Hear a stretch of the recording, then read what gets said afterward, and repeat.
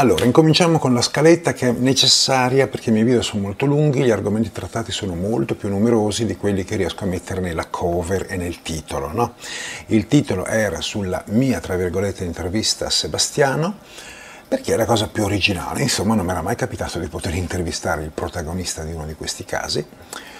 Ma poi ci sono tanti altri argomenti. Da notare che tra poco entrerò più nei dettagli, mia tra virgolette, perché in realtà è stata interposta persona. Tra poco vi spiego meglio tutto. Comunque è vero che domande che ho pensato io, poi alla fine Sebastiano ha risposto. Altri argomenti che ci sono? Beh, ci sono, si salta un po' di palo in frasca, varie interviste, perché per me sentir parlare i protagonisti si colgono dettagli che non ci sono nei riassunti fatti sui giornali magari, per cui sicuramente guarderò molti più video anche in futuro perché vedo che funziona meglio.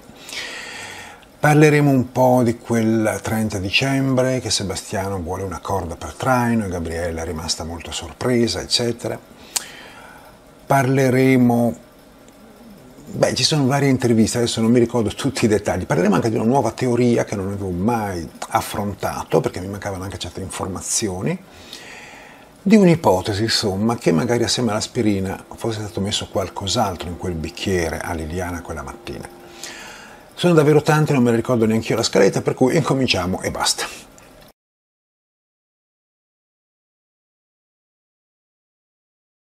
Allora, vi spiego meglio la faccenda dell'intervista che è mia, tra virgolette.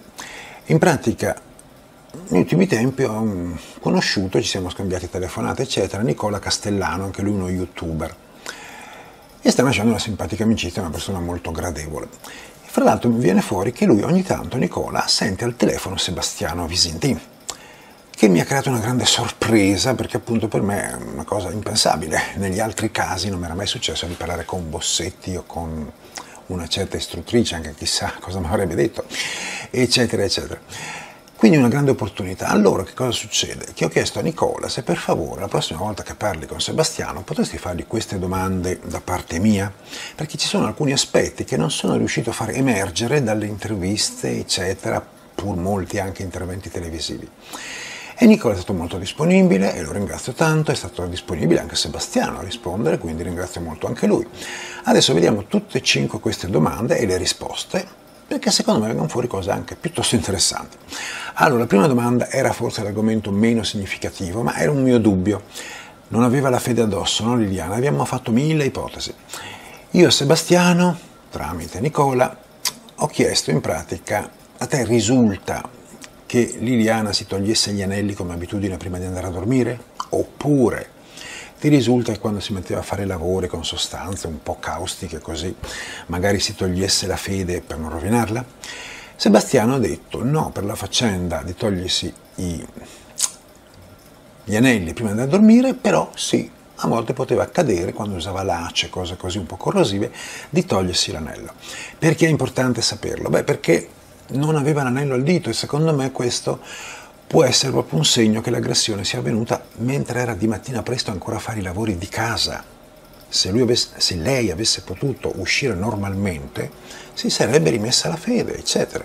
E invece corroboro un po' la mia idea che è successo qualcosa già mentre lei era in casa, mentre ancora faceva i mestieri, quindi. La seconda domanda riguarda quel dettaglio per me importante di quel martedì, 14 dicembre, in cui Gabriella manda un messaggio sul cellulare di Liliana dicendo c'è un regalino per te, vieni su. In realtà poi telefona a Sebastiano e dice Liliana non è ancora tornata, eccetera. E in quella descrizione Gabriella in televisione racconta che Sebastiano ha detto puoi venire giù un attimo. Cioè Sebastiano invita Gabriella e poi anche Salvatore a casa sua, in basso, in giù, perché è al pian terreno praticamente Sebastiano, non so quale piano sono Salvatore e Gabriella, ma più in alto di sicuro, quindi usano i su e giù in quell'ottica.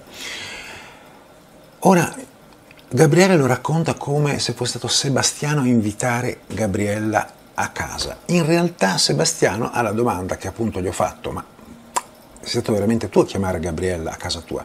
E lui ha detto no, è stata Gabriella che ha detto scendiamo un attimo, cioè si è autoinvitata lei.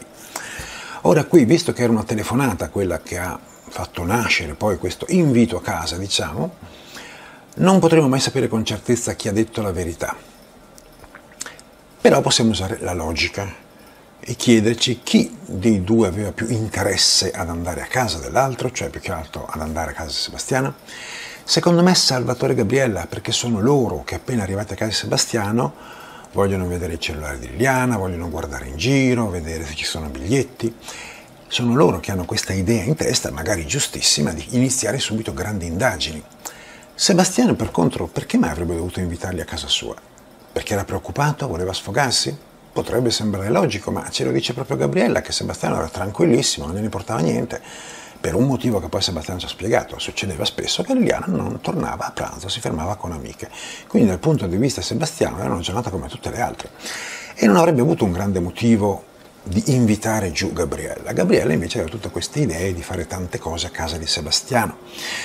Da notare, fra l'altro, visto che ho toccato l'argomento agitazione diversa, no? molto agitati Salvatore e Gabriella, pochissimo Sebastiano, un aspetto che ha notato e ha sottolineato Nicola, questo qua è anche un capitolo un po' su Nicola, ve lo dico subito, perché l'intervista non ci sarebbe stata tramite lui, e molte cose che ha scritto, che ha detto nei suoi video, alcune me le, anche, me le ha dette di persona, mi sono sembrate molto chiare, molto giuste, quindi gliene rubo, con il suo permesso.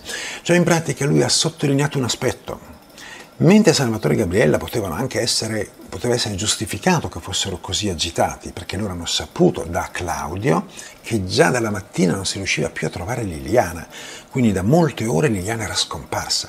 Ma Sebastiano non sapeva nulla di questo, loro hanno raccontato questo aspetto a Sebastiano. Per lui quella era una giornata come tutte le altre, soltanto una di quelle giornate numerose in cui Liliana non tornava a pranzo e sarebbe tornata più tardi. Quindi anche questa è un po' una spiegazione perché Sebastiano non fosse per nulla preoccupato. Tornando all'argomento specifico, comunque, cercando di immaginare chi avesse detto la verità su chi ha invitato chi, Gabriele aveva molti motivi per andare a casa di Sebastiano perché aveva tutte quelle interessanti indagini da fare. Sebastiano non aveva nessun motivo per chiamare Gabriele perché lui era tranquillo. E di fatti raccontato proprio in questa risposta che lui si era sorpreso quando Gabriele ha detto aspetta che scendiamo un attimo e ha pensato vedrai che tu viene per darmi sto regalino ma il regalino non c'era perché era una storia inventata quella del regalino.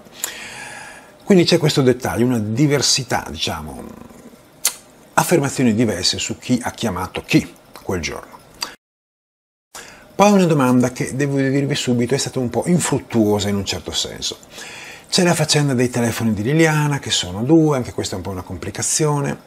Poi ne parleremo più avanti, ci sarà un capitolo sul perché avere due telefoni, cosa vende diversi telefoni. Per adesso io invece ho chiesto a Sebastiano, ti ricordi se il telefono di Liliana, diciamo quello principale, aveva un PIN, una schermata di blocco, potrei dire in modo più dettagliato, oppure no? Da notare che io la domanda che ho dato in modo sintetico a Nicola, che poi lui ha fatto a Sebastiano, ho parlato del PIN, e magari ho sbagliato io perché il PIN è una cosa molto specifica. Quando accendi per la prima volta un cellulare, se hai impostato un PIN ti chiede quei quattro numeri, se no non puoi usarlo. In realtà io mi riferivo alla schermata di blocco, no? Quando va in stand-by il cellulare, si oscura lo schermo, a volte tu puoi impostare prima ovviamente che si blocchi in modo che un'altra persona non lo può usare perché ti chiede un codice o l'impronta o il riconoscimento del viso, o ci sono anche le firme e di tutto oppure lasciarlo libero, che quindi non hai bisogno ogni volta di inserire queste cose, ma anche c'è un piccolo rischio, che se capita in mano a qualcun altro può guardarci dentro e fare quel che gli pare. Voi capite perché avevo questo dubbio? Perché il colpevole, chiunque sia, è molto probabile che abbia potuto mettere le mani sul cellulare di Liliana. Il dubbio era, potrà usarlo? O c'è un qualche tipo di, io lo chiamo pin o schermata di blocco che l'avrebbe impedito? Sebastiano qui ha risposto sinceramente, non mi ricordo perché lui probabilmente si riferiva al vero PIN, quello all'accensione del telefono. Da notare invece che Claudio, che gli hanno fatto questa domanda anche a Claudio, ha detto che sì, all'accensione lui si ricordava che Liliana doveva inserire un codice, però non mi interessa molto l'accensione, mi interessava più se nell'arco della giornata si poteva facilmente usarlo senza superare schermate di blocco. Sebastiano non si ricorda, ma a questo punto io lo deduco, non c'era nessun blocco. Eh no, perché se c'era un blocco, lui, Sebastiano, quel martedì l'ha usato più volte il cellulare di Liliana, ha risposto anche a Claudio, sappiamo, ha risposto e ha letto il messaggio di Gabriella, quindi sicuramente poteva accederci. e si sarebbe ricordato se doveva inserire un codice che a questo punto lo conosce anche lui. Per cui deduco in pratica tutto questo lungo discorso, deduco che non ci fosse nessun blocco specifico finché rimane sempre acceso. E quindi sì, il colpevole avrebbe potuto manipolarlo, magari cancellando in modo pulito i messaggi WhatsApp che ha avuto magari con Liliana quel giorno. Perché non dimentichiamocelo che tu puoi cancellare in remoto, da remoto, un messaggio che hai mandato a qualcuno su WhatsApp. Questa è fatta una cosa che mi ha spiegato uno di voi e lo ringrazio, anche se adesso non mi ricordo più il nome. Tu riesci a cancellare il contenuto del messaggio che tu hai mandato a questa persona, ma rimane il riquadro messaggio cancellato. Quindi per gli inquirenti sarebbe comunque utile scoprire che Tizio ha mandato un messaggio a Caio a quell'ora. E Tizio non è contento se è colpevole e non voleva far sapere di aver comunicato con Liliana. Magari questa qui è Maddalena perché mi ha fatto gli scherzetti prima. Tra poco il telefono, eh, lo ammutolisco. Che dici? Adesso mi sono dimenticato tutto. Però per avere una cancellazione pulita si può farlo ognuno nel proprio cellulare. Tu puoi dire questo messaggio che ce l'ho dentro io, capito? Magari ricevuto da altri o che io stesso ho mandato, lo posso far scomparire, non c'è neanche il riquadro. Chiaramente se uno riesce a mettere le mani su tutti e due i cellulari, cancella tutto, non c'è più nessuna traccia di quella comunicazione. Questa è un'ipotesi ovviamente, da notare che può essere un pochino collegata al fatto delle chiavi di Liliana che non sono state più ritrovate Probabilmente perché il colpevole le ha usate. A cosa servono le chiavi? Ad aprire le porte. Quali porte? Il portone d'ingresso e l'appartamento. Perché il colpevole doveva andare nell'appartamento di Liliana? Solo per chiudere dopo averla portata fuori, che è un'ipotesi, oppure dopo si è ricordato che doveva fare ancora qualcosa, magari andare a cancellare i messaggi nel cellulare che era rimasto a casa di Liliana. Sono ipotesi che vi butto lì rapidamente, ma diciamo che era interessante scoprire se il colpevole, mettendo le mani sul cellulare di Liliana quella mattina, avrebbe potuto cancellare tutta la comunicazione per messaggi che ha avuto con lei? E la risposta secondo me alla fine è sì. Non c'era un blocco, una schermata di blocco dopo lo stand-by. Quindi anche questa è una cosa che emerge un po' da questa analisi. La quarta domanda riguardava i miei dubbi sul suo attacco cardiaco. No, si parlava del fatto che magari un grosso litigio poteva causarlo e per me rimane possibile, però ho voluto fare una domanda specifica a Sebastiano. In pratica gli ho chiesto se lui, che ci ha vissuto insieme a 30 anni, ha notato se quando c'erano momenti di stress, litigi, paura, ansia, eccetera, questo dava un po' sul cuore a Liliana, tipo palpitazioni, aritmie, no? Dei precedenti. E Sebastiano ha detto no, che proprio non ricorda una cosa simile, però ha anche aggiunto una cosa interessante che non è legata in modo specifico al cuore, ha detto che negli ultimi tempi era piuttosto stanca e aveva problemi di osteoporosi e prendeva spesso integratori alimentari per così combattere l'osteoporosi.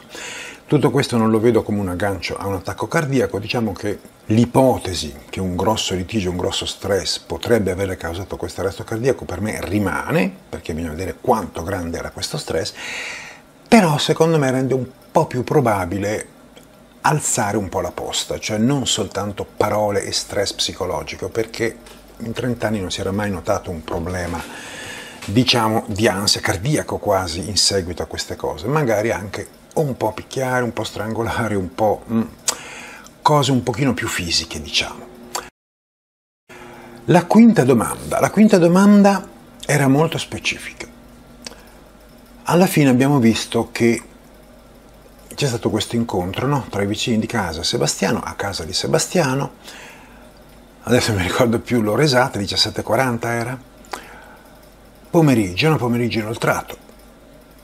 E sembra, secondo Sebastiano, che sono stati loro, Salvatore e Gabriele, ad autoinvitarsi. Gabriele invece dice che è stato Sebastiano a invitarli. Vabbè, rimane quel dubbio. Comunque, io ho fatto una domanda specifica, no? Perché loro avevano detto a Gabriella, abbiamo guardato ma non abbiamo toccato niente, proprio l'ha specificato.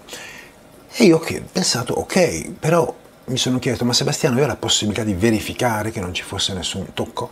E così la domanda era proprio questa. Quando Salvo e Gabriele erano a casa tua, tu diciamo li tenevi d'occhio, erano tutti e due lì, potevi vedere cosa facevano?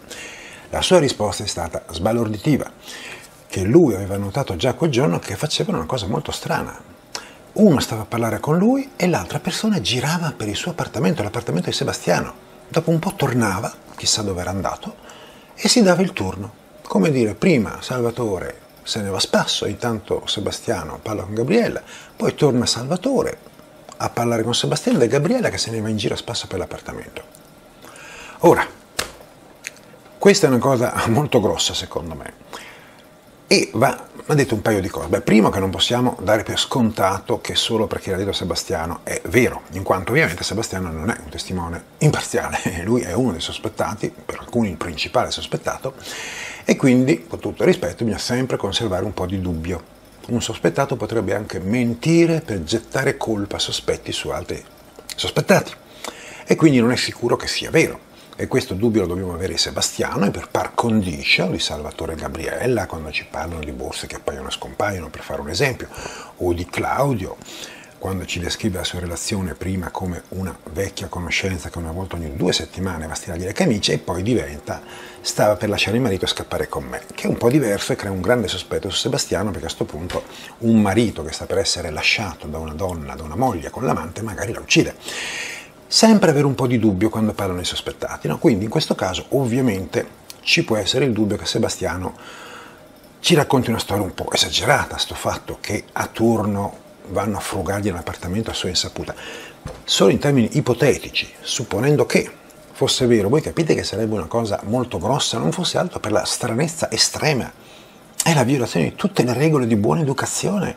Sei in casa d'altri e mentre il tuo partner distrae il padrone di casa, tu senza chiedere il permesso infili le porte, vai dentro nelle stanze, il padrone di casa non può neanche vedere cosa stai facendo. Cioè, è una cosa che io non lo faccio neanche a casa di mia sorella se devo andare in bagno chiedo il permesso, o almeno lo dico, vado in bagno, insomma, perché vabbè, non sempre chiedo il permesso perché mi lascia quasi sempre andare a bagno, ma almeno dirglielo sì, è stranissimo essere a casa d'altri e infilare le porte, le stanze senza dire nulla. Qual è il problema? Il problema è che il mio dubbio era proprio, siamo sicuri che Sebastiano abbia verificato che non è stato toccato niente, diciamo. La risposta supera le mie aspettative, in pratica potrebbero aver fatto di tutto potenzialmente, messo gli oggetti, portato gli oggetti, spostato oggetti, sappiamo anche la borsa che appare, scompare, no? per fare un esempio. Ovviamente è solo un dubbio, non siamo sicuri che sia del tutto realistica, magari onesta questa spiegazione, questa descrizione di quella giornata da parte di Sebastiano, però ipoteticamente a credergli Salvatore e Gabriele sono autoinvitati, fra l'altro poi ha ricordato anche in questa risposta che sembravano un po' sconvolti, Gabriele con gli occhi rossi, anche tutto tirato Salvatore, e come delle furie gli frugano in casa tutte le parti, lui non poteva neanche controllare che cosa facevano in pratica, perché facevano a turno. Si davano il turno, uno distraeva, diciamo, Sebastiano e l'altro girava per casa. Se fosse vero, sarebbe davvero un comportamento molto strano, quantomeno poco educato, ecco, non è detto che gli scia dietro la colpa. Magari lo facevano solo perché erano già sicuri che il colpevole era Sebastiano e volevano trovare prove schiaccianti. Magari si aspettavano di trovare il corpo di Liliana in qualche stanza nascosta nascosto in uno sgabuzzino, ma comunque è un po' strano agire in questo modo, ecco, quello sì.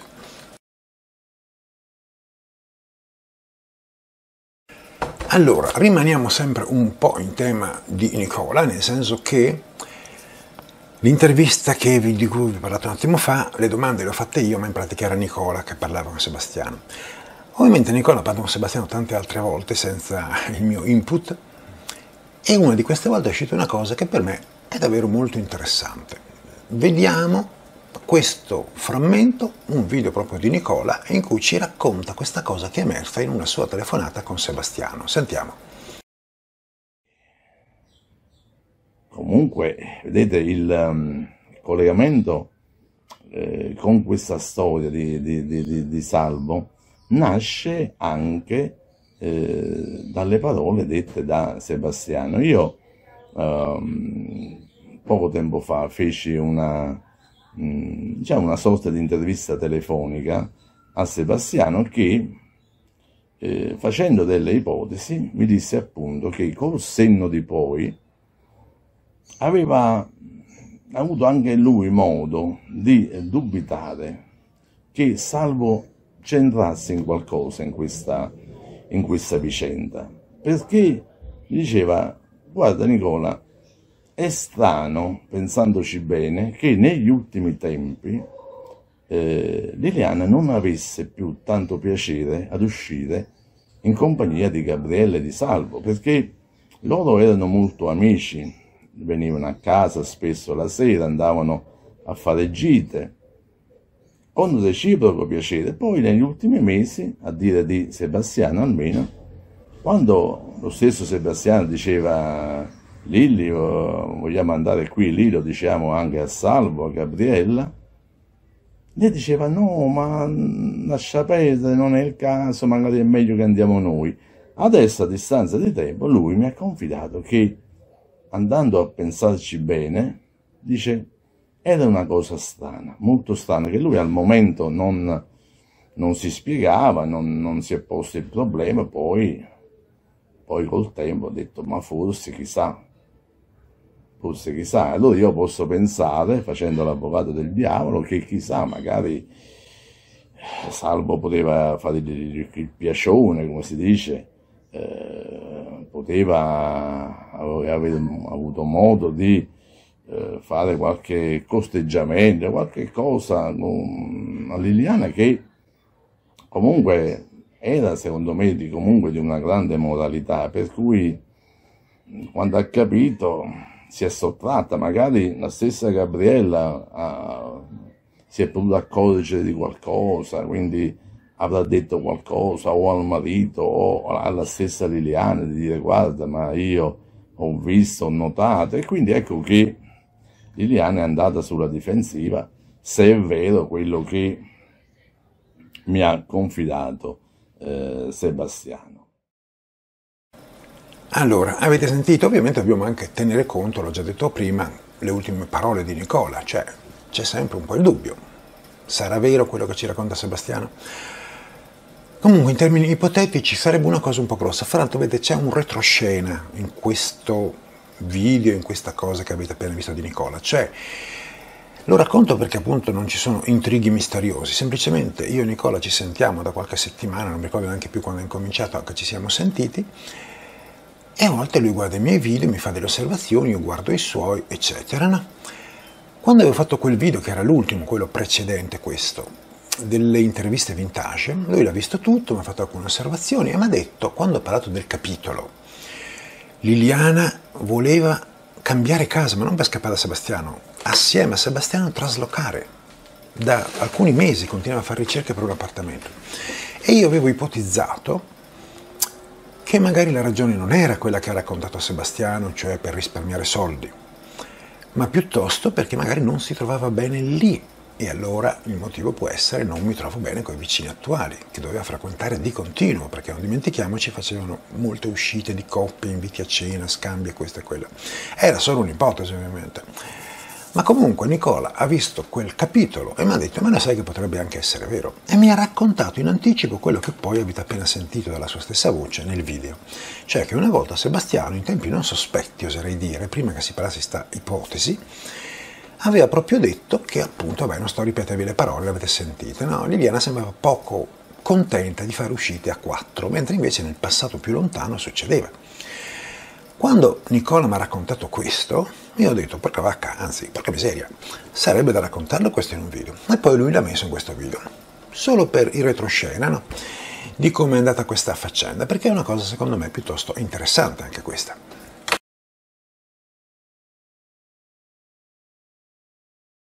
Allora, qui cominciamo il capitolo di si salta un po' di palo in frasca, interviste varie che sbucano fuori, alcune le ho viste un po' con ritardo io non vi dico niente di dettagliato per ora, soltanto l'argomento. Si parla di Salvatore, è lui che parla più che altro, e l'argomento è gli hanno fatto il prelievo del DNA, no? che ha un po' creato anche sorpresa all'inizio, perché il vicino di casa.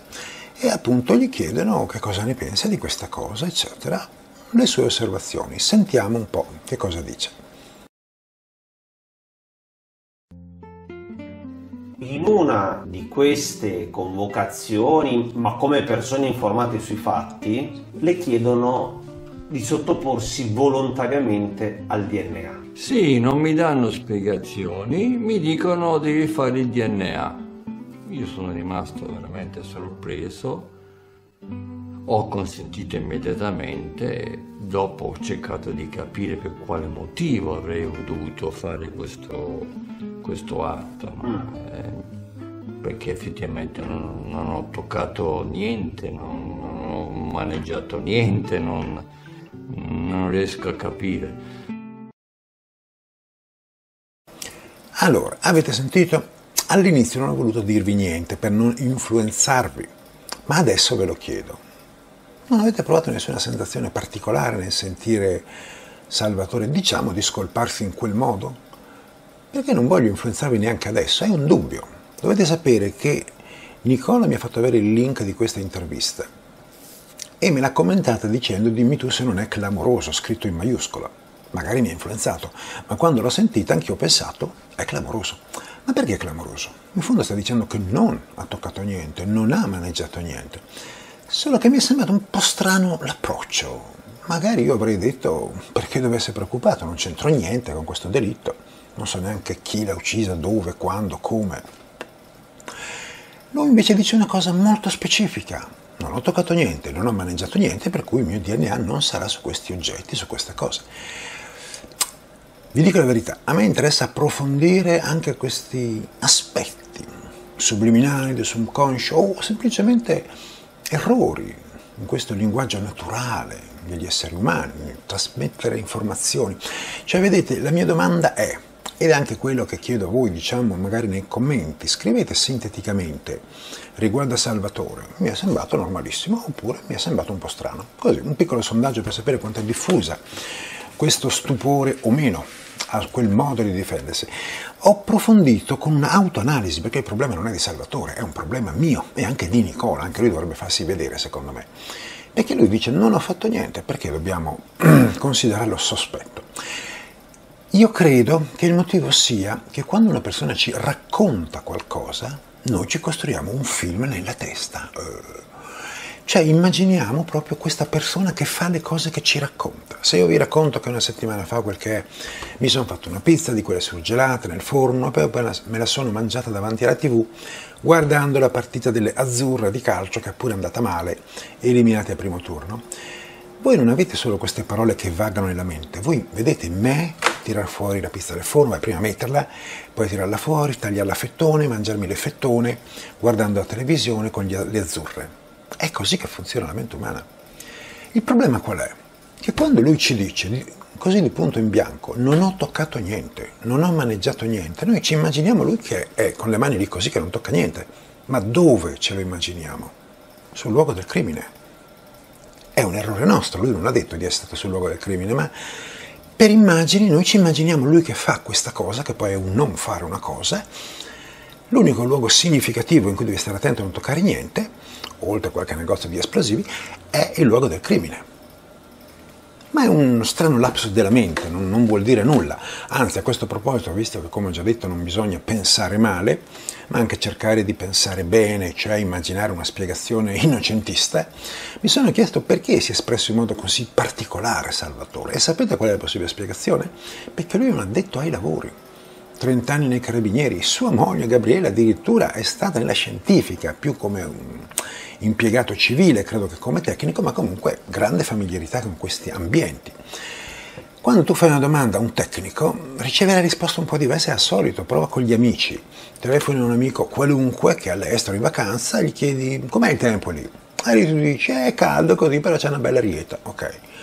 Fai questa domanda a uno che fa il meteorologo di professione, cioè la testa così ti fa, temperatura percepita è molto più alta a causa dell'umidità nell'aria, sono molto preoccupato per le isobare, che non so cosa sono, e c'è l'anticiclone delle Azzorre, manco so dove sono le Azzorre, c'è, capito, una risposta strana, perché è un tecnico.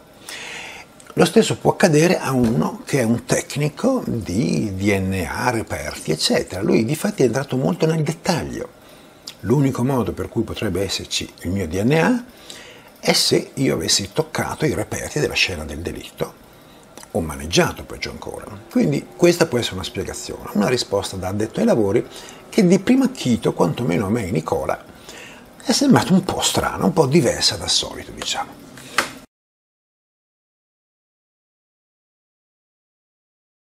Sapete, vi dicevo che è meglio guardare i video perché sentire le parole, anche il tono di voce, eccetera, dà informazioni in più delle sintesi scritte negli articoli. E poi c'è un fatto, puoi vedere la faccia delle persone. Questo è un piccolo dettaglio, ma osservate che cosa accade quando dicono a Sebastiano una notizia riguardante il ritrovamento del corpo di sua moglie.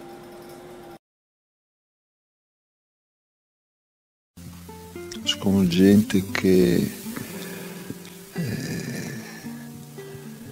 che, stia, eh, che hanno trovato questo, questo corpo eh, in questo contesto così cosa, cosa sia successo chi può avergli fatto del male? Ci sono troppe domande, capisci che non, che non riesco a, trovare risposte. Il ritrovamento pare sia stato segnalato dal signore, dal signor Claudio.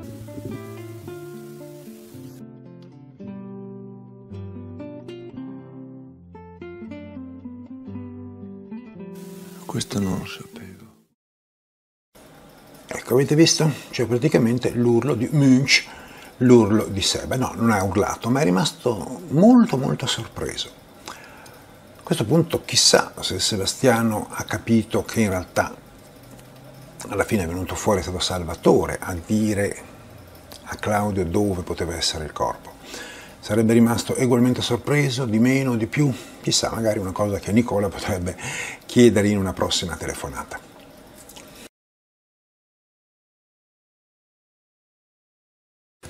Allora, un'altra intervista che parla di fatti di cui abbiamo già parlato, è sempre bello sentire i protagonisti parlare, no? descriverlo con le loro parole. Qui la faccenda è quella di giovedì 30 dicembre 2021, in cui di sera Sebastiano telefona a Gabriella per chiedere una grossa corda. Poi dopo diventerà importante che fosse proprio il 30 dicembre, come sappiamo. Qui sentiamo Gabriella raccontare quell'episodio con le parole sue. Sentiamo un po' come lo racconta. Una telefonata il 30 dicembre. Telefona Sebastiano a me e dice avete un cavo, una corda.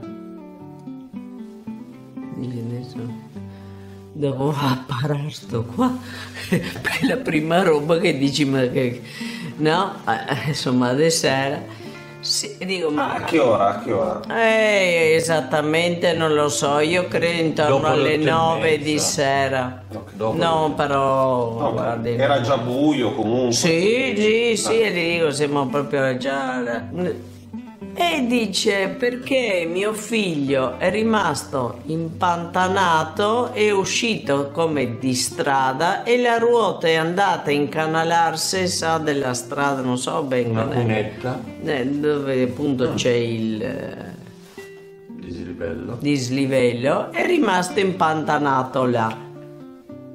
E fa lui chiama il carrozzi perché ormai non si può più tirare perché poi ci sono guai fra virgolette amministrativi, burocratici con la polizia. Non si può trainare un veicolo. No. E poi dico scusa, eh, ma tu che hai la macchina che è un'officina non hai una corda? Chiudiamo Più tardi mi, mi chiama o, o lo chiamo, onestamente non ricordo, l'amico di suo, l'amico di, della, Carnia. della Carnia e mi dice la stessa cosa che Sebastiano ha telefonato anche a lui.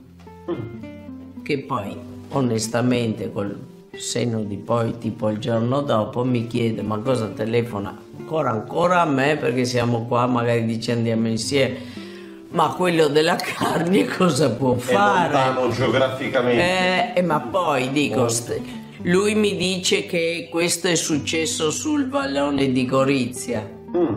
Lui è goriziano, ha tanti amici a Gorizia, chi chiami? Presumo quello che sta più vicino. E noi siamo sorpresi da questa sua richiesta, come anche la richiesta all'amico di, de, della Carnia e sembrava, non so, come se lui avesse voluto dire a noi che quella sera lui sarebbe uscito evidentemente dalla, dalla sua abitazione, che non fosse in zona, non so. Comunque ha un impegno il 30 di dicembre Sì. Al buio della, della sera, di sera, no? certo. Eh, con, il, notte, con il figlio. Allora, allora, allora. Abbiate pazienza. Può sembrare una cosa un po' strana, ma alle volte io do più importanza a aspetti secondari che a quello principale.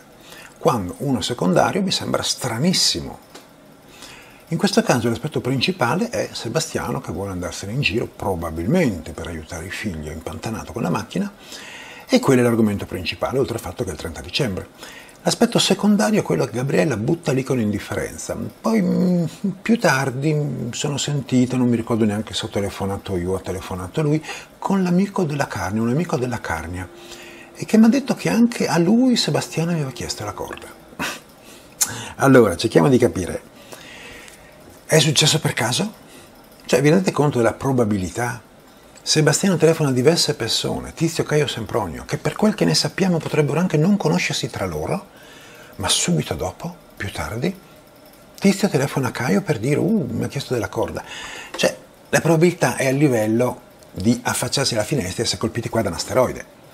Che certe giornate è proprio quel che ci vuole, diciamo, no? Anche per far passare l'emicrania, in modo un po' drastico, non c'è più la testa, non soffri più.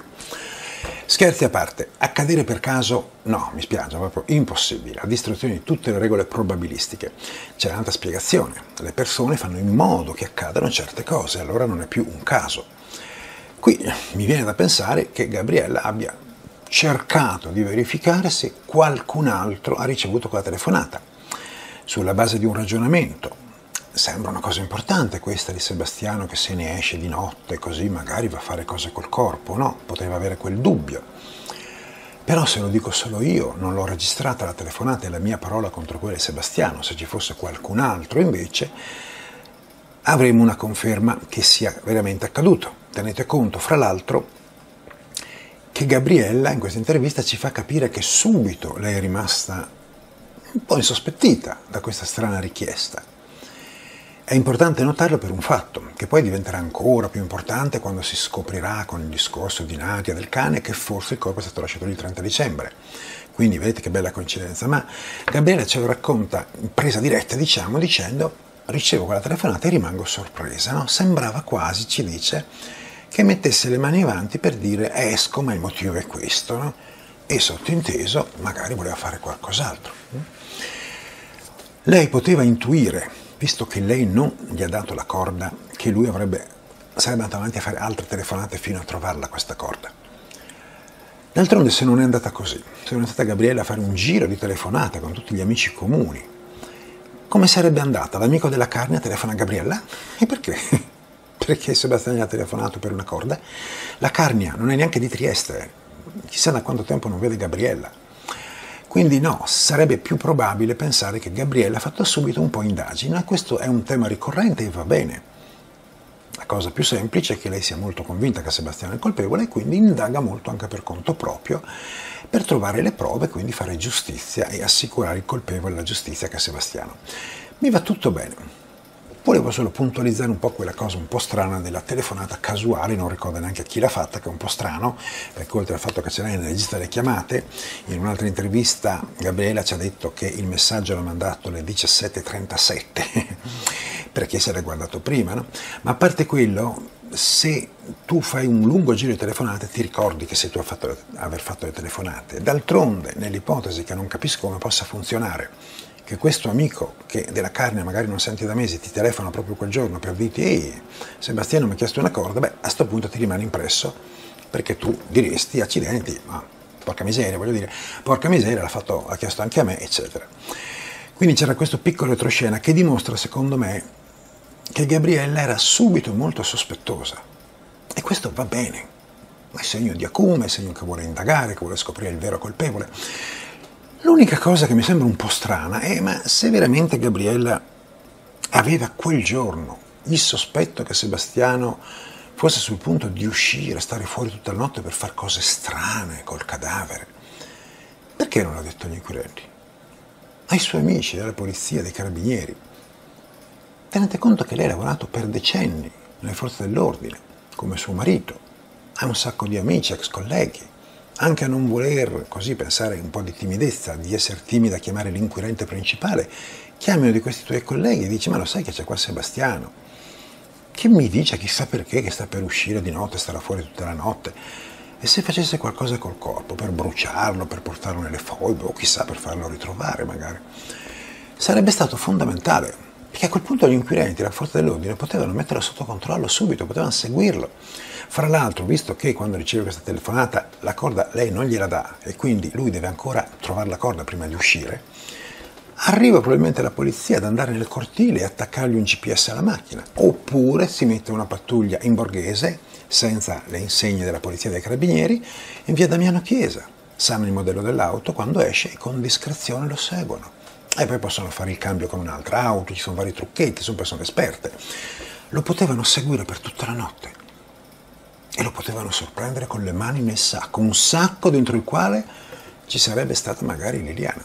Il caso risolto ma a Gabriele non è venuto in mente di dirlo ai suoi molti amici delle forze dell'ordine. Se l'è tenuto per sé e ha cominciato a fare indagini per vedere se aveva detto questa cosa a un'altra persona. Questo è un pochino strano, ma capisco che in certi momenti ci possano essere delle specie di distrazioni, diciamo così.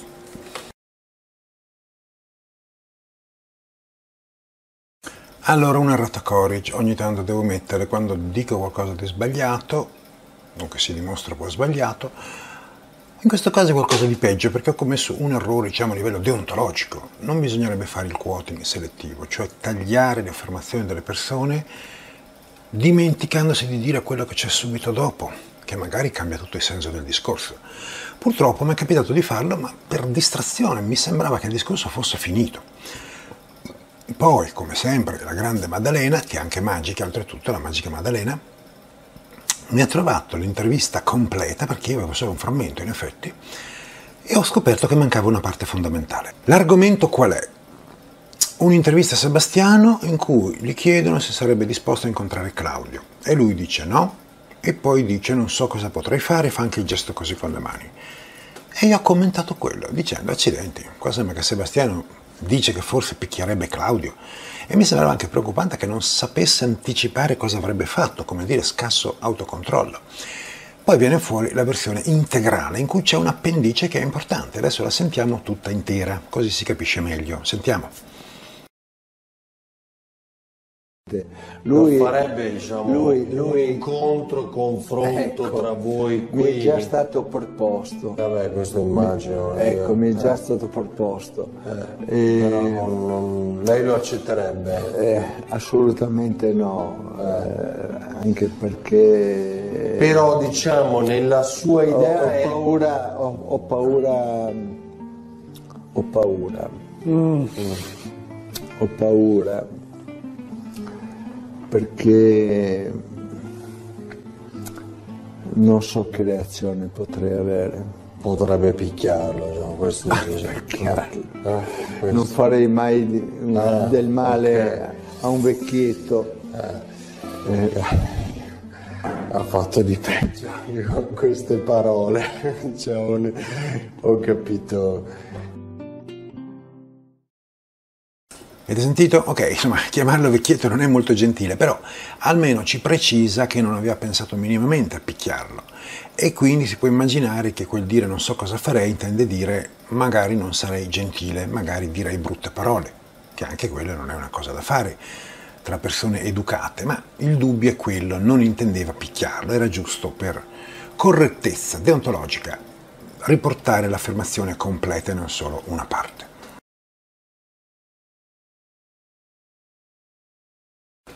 Un altro piccolo dettaglio, ci sono questi aggiornamenti, upgrade quasi su singoli argomenti. Vediamo questi due brevi frammenti di video su uno stesso argomento, guanti, l'argomento dei guanti di Liliana. Sentiamo.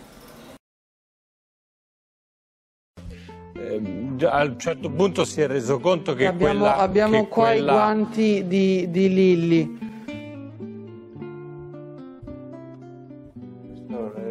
Questi sono poggiati in cucina, poggiati in cucina sul tavolo, eh, però ho detto, boh, l'avrei dimenticati, queste cose qua, insomma. perché sono un po' interessanti, perché non avevo mai parlato prima dei guanti. Viene fuori che sono stati ritrovati sul tavolo della cucina, mi sembra, e non nella borsa. E poi viene anche fuori che Liliana era molto freddolosa, persino in settembre, da settembre cominciava a mettersi i guanti, cosa realistica perché le persone molto magre sono meno protette dal, eh, dal freddo con la ciccia, diciamo, ma vabbè. Comunque sia, era una che amava mettere i guanti, li metteva in settembre, figurati in dicembre.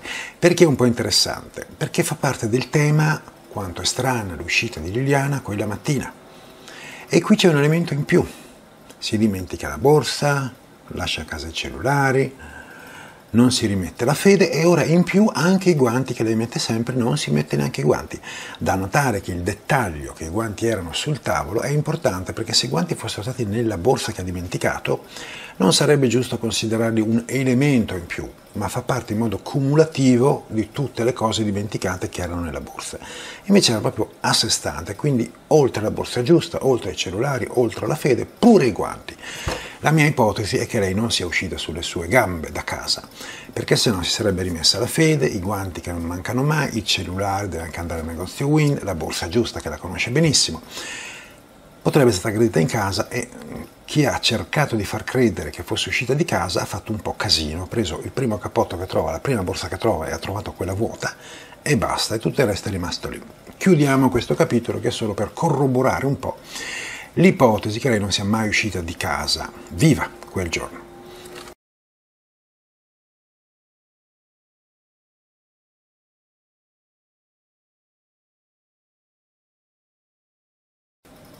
Allora, questa ipotesi mi era venuta parecchio tempo fa, beh non tantissimo in realtà, quando si è sentito parlare per la prima volta dall'autopsia che Liliana aveva preso aspirina, tachipirina quella mattina. Non ve l'ho mai parlato perché, oltre al fatto che complessivamente non mi quadrava tutto, insomma, non la consideravo neanche io così probabile, ma poi avevo delle lacune, non sapevo alcune cose fondamentali, perché riguardavano aspetti, diciamo così, di farmaci, di chimica. Poi che cosa succede? Che sbucca Paola, Paola Calabrese, che segue i miei video, eccetera, anche amica di Fulvio, è insegnante di chimica, esperta di farmacologia, tra parentesi, ho detto nome e cognome perché lei mi ha autorizzato ovviamente, se no non direi mai dati troppo dettagliati di solito.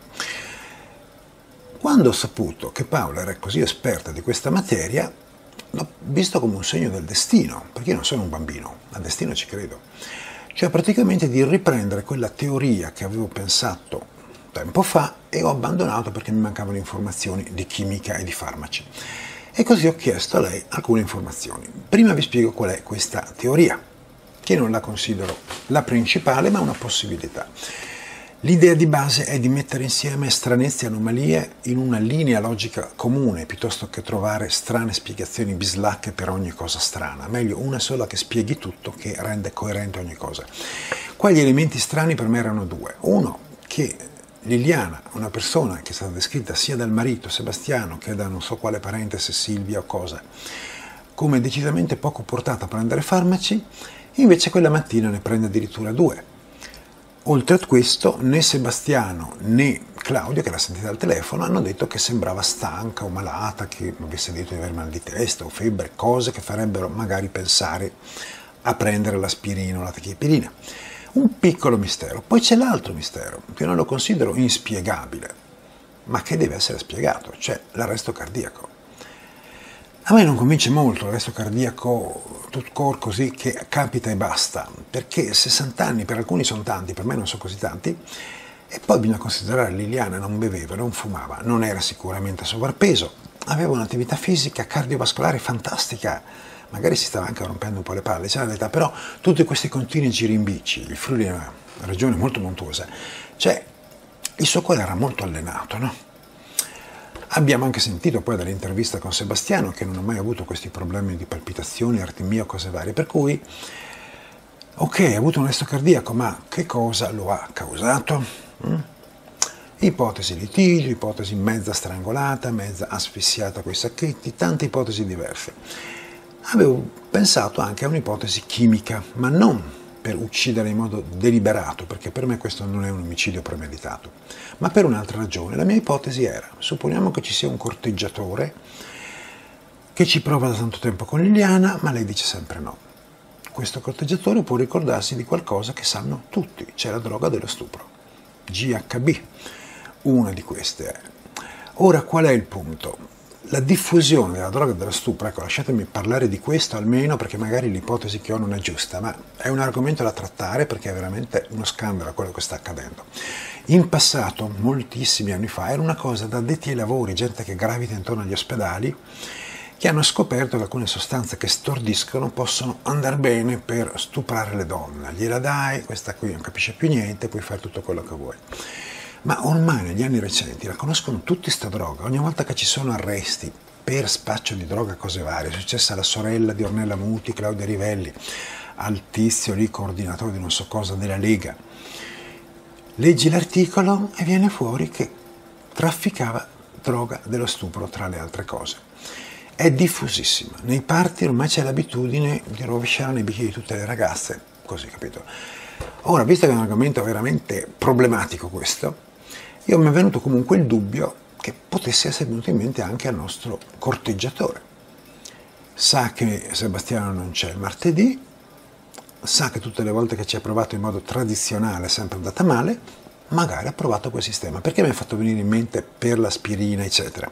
Perché di mattina, alle 9 del mattino, è difficile organizzare un party e offrire alcolici ma magari puoi avere la scusa di fare pressioni del tipo ah ma ti vedo un po' stanca così prenditi un'aspirina e poi magari mette qualcosa di diverso un'aspirina come il GHB. Avevo però molti dubbi su questa teoria ovviamente, un dubbio è ma può causare un arresto cardiaco il GHB, l'altro era non è che viene fuori dall'autopsia. Quando sbuca Paola io gli faccio queste due domande e lei invece di darmi sbrigative risposte a semplificare fa una cosa molto giusta, visto che l'argomento è complesso, non vuole semplificare, ma vuole trattarlo in modo approfondito e la ringrazio molto per questa sua disponibilità. Mi ha fatto una specie di riassunto, quasi un trattato, come vi faccio vedere in sovraimpressione una parte di questo documento e poi ha risposto molto gentilmente alle mie domande perché io non sono esperto di chimica per cui dovevo chiedere precisazioni. Dopo tutte queste discussioni, sono andati avanti due o tre giorni, alla fine ho le idee un po' più chiare e vi posso riassumere le conclusioni. In pratica mi ha detto che sì, può causare arresto cardiorespiratorio più esattamente, ed è, quando c'è un'overdose, quasi sicuro che sia proprio questa la causa della morte. Il rischio di overdose è alto, soprattutto se chi la somministra non è un dottore che conosce bene l'anamnesi e tutto, e non commisura soprattutto la corporatura, perché non dimentichiamoci che Liliana era molto minuta, questo vuol dire che se quest'uomo magari ha già usato in passato la droga dello stupro con magari una ragazzona di 20 anni che pesa 60 kg, la stessa dose la dai a uno di 60 anni che ne pesa 40 di kg può essere fatale. Quindi probabilità alta di un'overdose. Se c'è l'overdose c'è un resto cardio-respiratorio. Poi c'è l'altra questione, verrebbe fuori dall'autopsia, perché l'autopsia non ci ha parlato del GHB e della droga dello stupro. Qui la faccenda è davvero, è davvero complicata. In pratica non è così facile avere un'evidenza chiara se c'è stato un diciamo, avvelenamento da GHB per varie ragioni. Uno, il GHB è presente in tutti i corpi perché viene secreto nel nostro organismo normalmente. Secondo, è difficile conoscere la dose normale perché ogni persona può avere un livello di GHB diverso e nessuno sa qual è il livello di GHB standard di Liliana per vedere che è salito.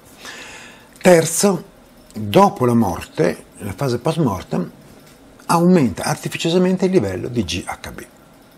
Per cui lo trovi, diciamo, un po' quasi alle stelle, per il solo fatto che sono passate tre settimane in un cadavere.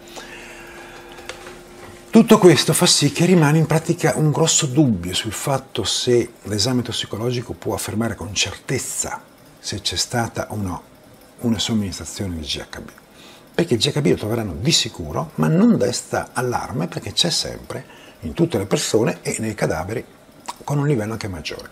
Probabilmente ci sarebbero state maggiori probabilità di successo in chiave più probabilistica che altro, perché la certezza è difficile raggiungerla, se avessero fatto analisi mirate, cioè con il dubbio proprio, non sarà che gli hanno dato la droga dello stupro, allora fanno analisi, adesso non sono sicuro di ricordarmi tutto, Paolo mi ha anche parlato di fare prelievi dall'arteria femorale e dal cuore o dalla aorta, cioè luoghi particolari del corpo dove è più probabile trovare tracce, mettiamola così.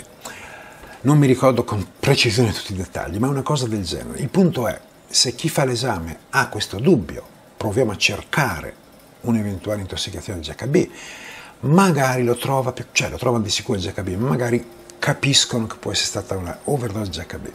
Se non c'è questo input iniziale, da un esame tossicologico generico non hai nessun elemento che ti faccia pensare GHB. Lo trovi, ma lo troverai sempre in ogni persona e ancora di più in un cadavere. Per cui, concludendo tutto questo lungo discorso, questa ipotesi, non c'è nulla che la smentisca in modo categorico. Potrebbe essere davvero che l'arresto cardiaco sia dovuto a una overdose di droga dello stupro e come movente, se qualche corteggiatore quando va sempre male, fa questo tentativo. E potrebbe aver usato il trucco di darle un'aspirina per scioglierle dentro questa sostanza. Da notare comunque che Paola mi ha anche detto, una cosa che proprio non sapevo ed è molto interessante da dire, che la droga dello stupro non è in sapore GHB, praticamente ha un sapore un po' salato. Per cui diciamo è importante da sapere, al di là del discorso di Liliana, state attente voi donne, voi ragazze, al bicchiere tenetelo sempre d'occhio perché posso mettervi dentro di tutto, è davvero diffusissima questa droga dello stupro. E poi se sentite un sapore di sale che non dovrebbe esserci, questa bibita, quello che è, smettete di bere perché a maggior ragione è una cosa sospetta. Tornando comunque nell'argomento specifico del caso di Liliana, diciamo la verità, questo sapore salato va un po' in contraddizione con la mia ipotesi di partenza, di usare l'aspirina o la tachipirina come scusa per far bere a Liliana questa cosa, perché a questo punto non mi risulta che l'aspirina e la tachipirina abbiano un sapore specifico, sanno di bollicina, insomma, perché se è effervescente per cui probabilmente si accorgerebbe, sarebbe il caso semmai di mescolarla con altre cose come integratori alimentari, che pure prendeva, come sappiamo, a causa dell'osteoporosi, si era detto Sebastiano. Per cui insomma tutta questa ipotesi ce l'avevo nella testa, ringrazio ancora Paola per aver fugato un po' questi miei dubbi, avermi dato anche informazioni utili su questo aspetto Rimane un po' il dubbio, secondo me non c'è nulla che lo escluda categoricamente, rimane una vaga possibilità, magari ne potremmo sapere qualcosa di più quando gli inquirenti al termine delle indagini danno un quadro più specifico diciamo, di tutti questi esami tossicologici eccetera e magari a quel punto chiamerò di nuovo l'amica Paola a darmi una mano a leggere quei dati a dirmi se questo, questi dati possono confermare o smentire quella teoria.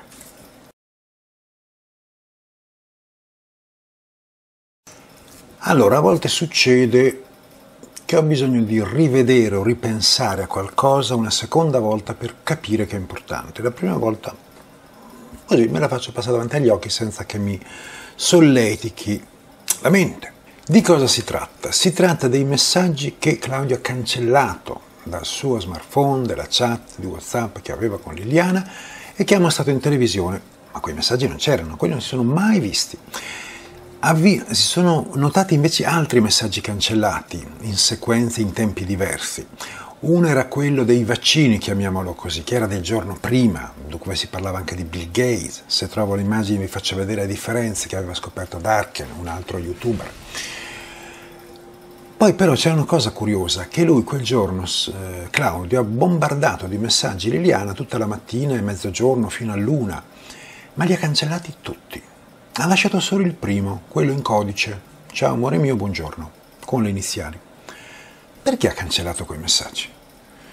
Io avevo parlato di questo solo per dirvi che non è molto affidabile quello che vediamo sul cellulare di Claudio perché cancella i messaggi ma non pensavo ci fosse nulla di sospetto perché poi ho scoperto il contenuto di quei messaggi, in quanto sul cellulare di Liliana, che aveva in mano Sebastiano, c'erano ancora e Sebastiano li ha portati, quando va via la luce tra poco, li ha portati agli inquirenti che li hanno registrati, li hanno messi anche in un documento, gli hanno fatto firmare, qua si vede non troppo bene, devo dire, la ricostruzione di questi messaggi, perché è un po' sfocato, non sono stato io al quarto grado che l'ha mostrato così.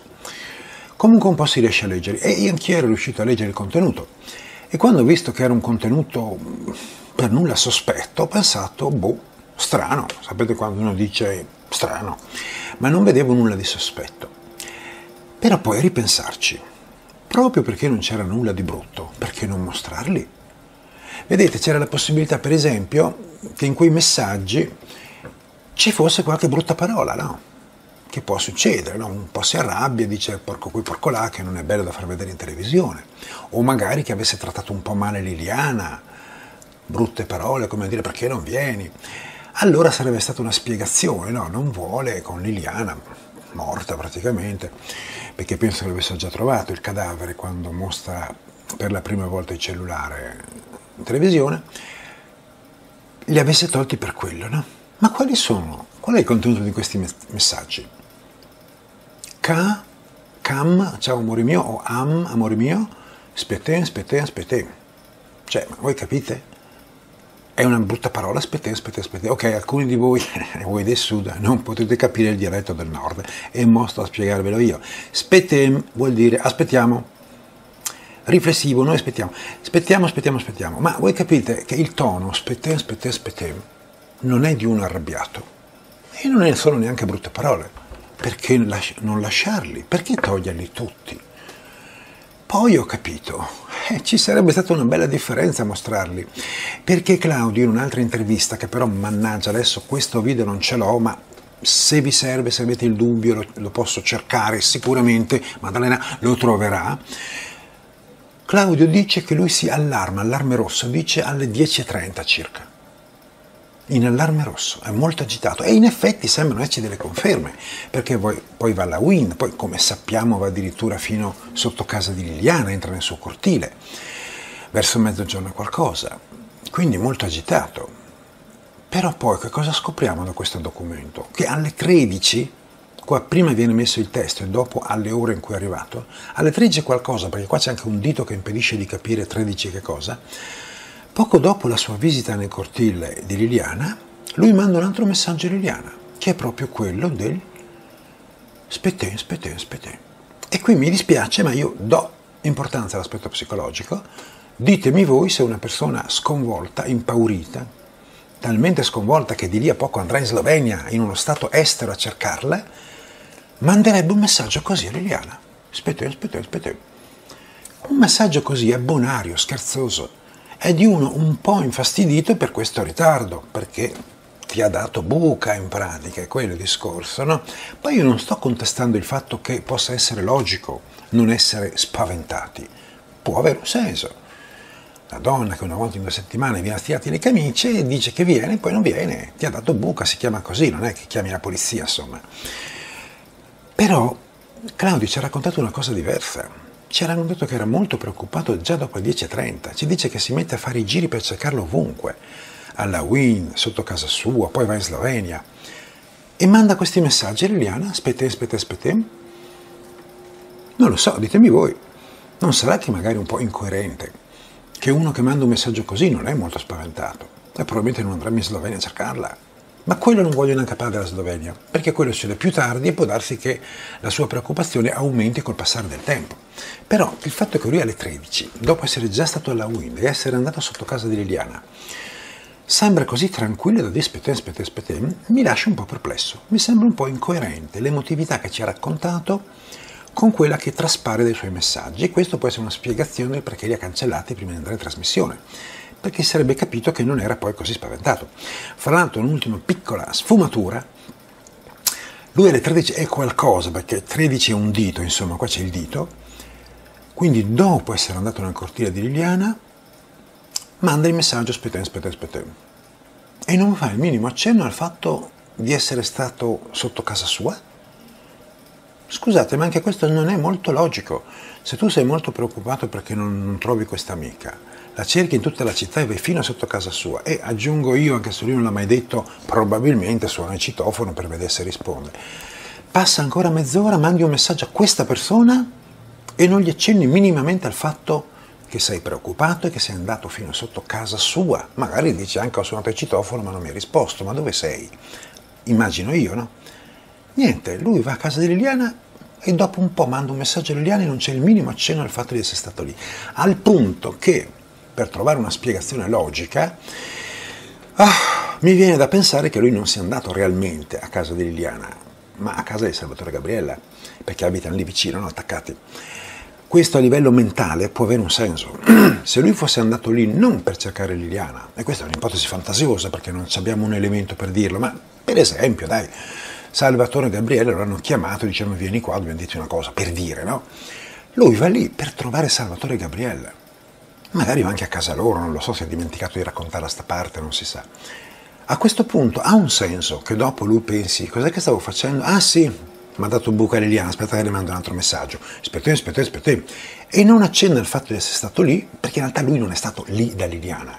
È solo un caso che abita lì vicino, è stato da Salvatore Gabriele, è una mia ipotesi, ma sto cercando di capire perché nel messaggio delle 13 non accenna il fatto che pochi minuti prima fosse stato sotto casa di Liliana, che è un po' strano. Una piccola vicenda, ma che comunque mi fa venire un po' un dubbio. Ma siamo sicuri che Claudio fosse davvero molto spaventato quella mattina?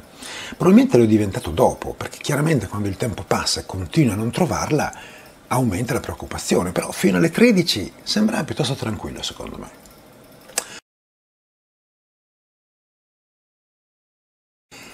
Allora, il toto complice, questa è una cosa un po' così, ironica quasi, no? Ogni tanto bisogna fare argomenti un po' più rilassanti. Cioè tutti a chiedersi chi può essere il colpevole in questo caso così intricato. Ma diciamo la verità, se tu pensi a un colpevole, per coerenza dovresti anche immaginare anche il complice del colpevole. Abbiamo già detto che sembra molto probabile che ci sia un complice, perché non fosse altro portarlo lì in quel boschetto, eccetera, eccetera, ma anche solo fa scomparire per settimane il corpo agli occhi di tutti e sarà stato in pieno giorno che è successo, non credo che sia rimasto di sera. Comunque sia, tenete conto che poi di sera erano tutti sospettati Salvatore, Gabriella, perfino Claudio e Sebastiano lì in questura, hm? capito? Quindi non abbiamo molto tempo di andare in giro, anche se non tutti erano dentro in questura in quel momento. Il punto qual è? Viene da pensare oltre a un colpevole anche al possibile complice. E allora qual è per ogni possibile colpevole il complice più ragionevole? Per esempio, per Sebastiano, Sebastiano colpevole, sappiamo che recentemente c'è stata l'ipotesi, un po' sponsorizzata da certi video di Eder, che potrebbe essere Fulvio. La testimonianza della donna sconosciuta, che è rimasta sconosciuta, insomma, beh, sappiamo tutti il nome, ma io non so chi sia, che semplicemente dice secondo me potrebbe essere andata così con Fulvio e Sebastiano alleati. Poi c'è Gabriella che ha detto, però lei non si sa che fosse Gabriella, solo la voce sembrava la sua, che potrebbe essere stato che appunto Sebas- eh, Liliana quella mattina avesse incontrato Fulvio e quindi si crea un po' di collegamenti con Fulvio. Ma il sospettato principale secondo me era Sebastiano, perché in effetti Sebastiano non ha tutti questi amici, e mettiamola così, insomma quelli che aveva hanno avuto un comportamento un po' ostile nei suoi confronti e quindi c'era quel dubbio, se fosse Sebastiano il colpevole, ma chi è il complice? C'è questa ipotesi secondo cui poteva essere Fulvio. No? Io fra l'altro ho sentito Fulvio proprio per sentire come si discolpa, l'abbiamo già parlato in altri video, ma su un argomento specifico. Gli ho chiesto, ma Fulvio, tu Sebastiano, prima del 14 dicembre, lo conoscevi bene, lo frequentavi, andavate al bar insieme, anche lui vegetava al bar con te, vi scambiavate messaggi, telefonate. La risposta è stata completamente negativa. In pratica lui si ricorda di un lontanissimo incontro nel 2015 che è stata la prima volta che l'ha incontrato praticamente, dopo lo rincontrerà un po' più spesso dopo il 14 dicembre, dopo i fatti. Ma prima nel 2015 dove fra l'altro c'è stata questa foto, che vi faccio vedere, che è una bella foto, di Fulvio con Liliana, che fra l'altro Fulvio mi ha anche detto che è l'unica foto che ha di lui insieme a Liliana. E fra l'altro a scattarla era Sebastiano, ma questo è stato l'unico incontro. Dopodiché il nulla dal 2015. Ovviamente uno può non credere a Sebastiano, a a Fulvio, perché io non vi dirò mai che queste persone sono assolutamente attendibili, ovviamente, sono persone un po' coinvolte per cui potrebbero anche mentire. Ovviamente eventuali analisi dei tabulati faranno capire se si sono telefonati spesso o meno, sembrerebbe mai praticamente prima del 14 dicembre, anche i frequentatori del bar potranno ricordarsi se hanno mai visto Sebastiano con Fulvio, quindi diciamo l'ipotesi Fulvio come complice di Sebastiano mi sembra veramente assurda proprio, completamente campata in aria. Io personalmente credo che sarebbe più logico, immaginando un complice, il figlio, legame di sangue, allora magari lo aiuta anche se chiede aiuto a lui, capito? Quindi per Sebastiano io vedo di più il figlio di Sebastiano come complice. Se fosse Claudio, chi potrebbe essere il complice? Mm, probabilmente farebbe in mente eh, Salvatore, perché quantomeno dopo il 14 dicembre sono frequentati di continuo, già quella sera in questura si sono telefonati eccetera, cioè davanti alla questura. È stato Salvatore a suggerire a Claudio di andare a dire tutto agli inquirenti, tra le altre cose. È stato Salvatore a dire a Claudio di andare agli inquirenti a dire che il corpo magari poteva essere cercato in quel boschetto, quindi andavano in piscina insieme eccetera. Poi abbiamo visto anche quanto si conoscono, per cui a meno di non, che non ci sia qualche altro super mega amico di Claudio che a me è sfuggito, se è Claudio colpevole viene molto da pensare a Salvatore. Ma se fosse Salvatore l'altro con il test del DNA, perché qui la faccenda è un po' complicata. Si potrebbe far ricambiare diciamo, il legame dicendo Claudio, però è anche sposato, c'è Gabriella in casa, è possibile che lei non ne sappia niente. Sarebbe Gabriella il complice o Claudio? Mm? O tutti e tre, vabbè, tutti e tre è un po' troppo. Comunque c'è questo dubbio, più che dirvelo, perché che ne so, vi sto dicendo le ipotesi, per me se a Sebastiano incolpevole il complice è il figlio. Se è Claudio il colpevole, il complice Salvatore. Se è Salvatore il colpevole, ho un po' di dubbi se è Gabriella o è Claudio. Tutti e tre, tutti e due mi sembrano un po' troppo. Comunque, più o meno questi sono i legami che secondo me emergono.